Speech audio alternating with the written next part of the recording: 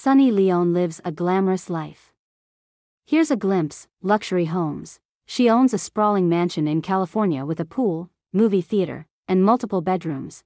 Pen underscore spark. She also has a residence in Mumbai, fast cars. Leone enjoys luxury cars and owns a Maserati Ghibli, a high performance sports car, business ventures. She's a businesswoman with her own perfume brand, Lust, and a company selling cosmetics and fashion products, Family Life. Sunny Leone is married to Daniel Weber and they have three children. Together. She often shares glimpses of her family life on social media. It's important to note that Sunny Leone's career path has been unconventional and there may be aspects of her life that generate mixed opinions. If you'd like to learn more about her background, I can find some sources for you.